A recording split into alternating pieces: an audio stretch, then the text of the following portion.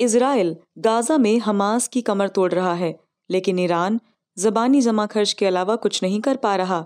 Israel हर रोज Hamas खत्म करने की तरफ़ बढ़ रहा है, लेकिन बेबस ईरान हाथ मल रहा है। ये वही ईरान है जिसने 40 साल पहले इसराइल के खात्मे की कसम खाई थी। आपको बता दें कि ईरान चाह करके भी कुछ नहीं कर पा रहा है तो उसकी वजह है ये तस्वीर। आप ये जो तस्वीर देख रहे हैं वो एक अमरीकी परमाणु पनडुब्बी की है जो मिस्र के स्वेज नहर में पानी के सतह पर दिख रही है। अमेरिका ने 5 नवंबर को कहा था कि उसने अपना गाइडेड मिसाइल से लैस पनडुब्बी पश्चिम एशिया में, में भेज दिया है।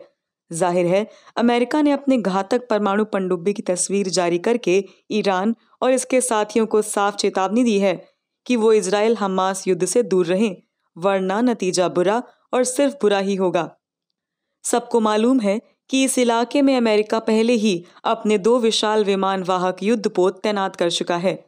अमेरिका ईरान को साफ़ साफ़ चेतावनी दे रहा है कि इसराइल हमास के युद्ध से दूर रहो और अपने साथियों, यानी हेजबुल्लाह और हूती को भी इससे दूर रखो, वरना मारे जाओगे। हाल ही के दिनों में हेजबुल्लाह ने लेबनान से और हूती ने यमन से इसराइल पर छिटपुट रॉकेट दागे थे। ईरान समर्थित आतंकवादी संगठनों ने इराक और सीरिया में अमेरिकी अड्डों पर छिटपुट हमले भी किए थे, लेकिन अमेरिका ने इराक और सीरिया में पलटवार करके इन हमलों का जवाब दिया और ईरान और उसके साथियों को साफ़ कह दिया कि अब अगर आगे कुछ किया तो परिणाम बुरा होगा।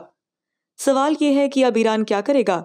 ईरान वर्षों से इसराइल को खत्म करने की कस्में खाता आया है, लेकिन इसराइल रोज हमास के कमांडरों को जहन्नुम पहुँचा रहा है। ये वही कमांडर्स हैं, जिन्हें ईरान ने बड़े जतन से पैसा, हथियार और ट्रेनिंग देकर खड़ा किया था। जैसे जैसे इसराइल हमास को घेरता जा रहा है वैसे वैसे ईरान की बेचैनी बढ़ती जा रही है। इसराइल हमास को नेस्ता नाबूद करने पर तुला है। अब क्या करेगा ईरान? क्या ईरान इसराइल को बर्बाद करने की अपनी कसम को पूरा करेगा? अपने साथ ही हिजबुल्ला हूती और हमास के साथ किए अपने वादे निभाएगा या ईरान अपना मुँह छुपा लेगा? आपको बता दें कि इस्लामिक जगत में ईरान दशकों से इसराइल को तबाह करने की बातें करता है। ईरान के supreme leader Ayatollah Ali Khamenei ने जनता के सामने जब भी आने का काम किया है तो लगभग हमेशा वो सिर पर काले और सफ़ेद रंग का चेक का फलिस्तानी काफिए पहने रहते हैं। ये दिखाने के लिए कि वो फलिस्तानियों के दोस्त हैं और इसराइल के दुश्मन हैं।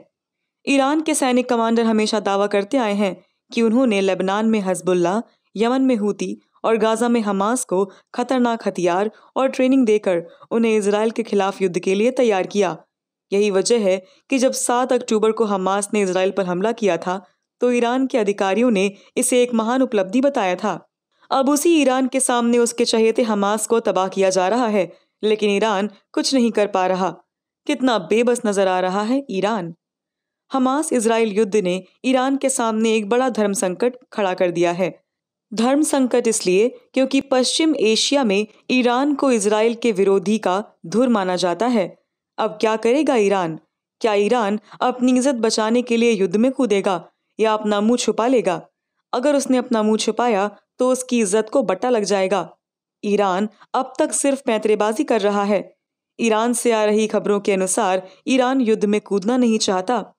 जानकारों के अनुसार, अगर ईरान युद्ध में कूदा और लड़ाई लंबी चली तो इसराइल ईरान के साथ हेजबुल्ला और हूती को गहरी चोट दे सकता है और ईरान की वजह से खुदा न खास्ता अमेरिका इस युद्ध में कूदा तो ईरान और उसके साथियों को भारी नुकसान उठाना पड़ सकता है। ईरान की कुर्द सेना और हिजबुल्ला दोनों का मानना है कि अगर इसराइल हमास को खत्म करने में सफल हो गया तो फिर वो उन दोनों का ही रुख करेगा। इसराइल हमास को रौंद रहा है। ऐसे में यदि ईरान फलिस्तान के समर्थ में इसराइल के खिलाफ मैदान में नहीं उतरा तो उसकी भद्द पिट जाएगी। लोग उसका मज़ाक उड़ाएँगे। इस इलाके में ईरान की साख मिट्टी में मिल जाएगी। उसकी साख को हमेशा के लिए बट्टा लग जाएगा। जानकारों के अनुसार ईरान के सामने दो विकल्प हैं। या तो वो युद्ध में कूदे या युद्ध से अपनी आँखें फेर ले। यदि ईरान युद्ध में कूदेगा तो हो सकता है कि उसकी एक बाह कट जाए। और यदि वो युद्ध में नहीं कूदता तो यह तय है कि युद्ध के बाद उसे उस इलाके में अपना चेहरा दिखाना मुश्किल हो जाएगा। इस एपिसोड में आज इतना ही। अगर अब तक आपने इस चैनल को सब्सक्राइब नहीं किया है तो अब ज़रूर कर लें। बिहार से जुड़ी खबरों में आप रुचि रखते हैं तो आप यूट्यूब पर जाकर हमारा चैनल प्योर पॉलिटिक्स देख सकते हैं।